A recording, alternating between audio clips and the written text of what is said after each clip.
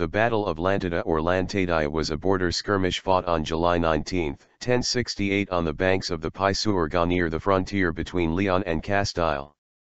There Sancho II of Castile defeated his brother Alfonso VI of Leon. Though Rodrigo Diaz de Vivar is usually associated with this battle, the evidence of his presence there is rather late and his influence in Castile at that early stage of his career too slight to make plausible the tradition that he was Sancho's alferez. Llantadilla, Plantata in the Historia Roderici, 17, was a small village located some 10 kilometers southwest of Melgar de Fernamental, and about 2 kilometers west of the river Pisuerga on the Leon side of the frontier. The closeness of the location of battle to the border suggests that no major invasion took place.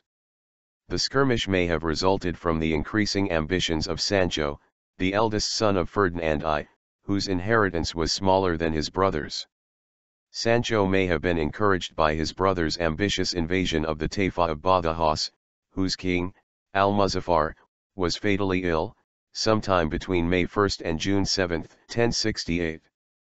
Alfonso succeeded in extorting a tribute from the ailing king, despite that the Parias of Badajoz had been relegated to his and Sancho's younger brother, Garcia II, in the division of the realm after Ferdinand's death, 1065.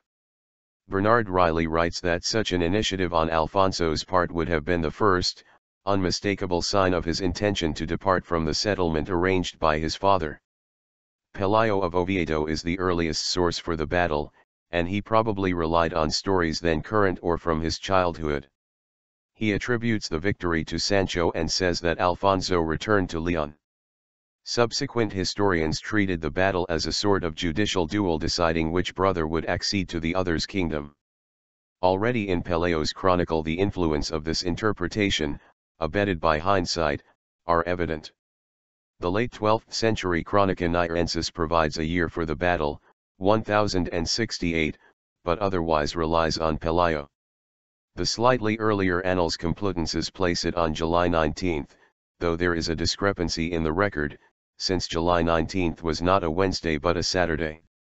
The presence of Alfonso at the battle is made slightly improbable by the existence of a charter issued to the monastery of Sahagun on July 7, presumably at or near Sahagun, since it was in the presence of the abbot and prior.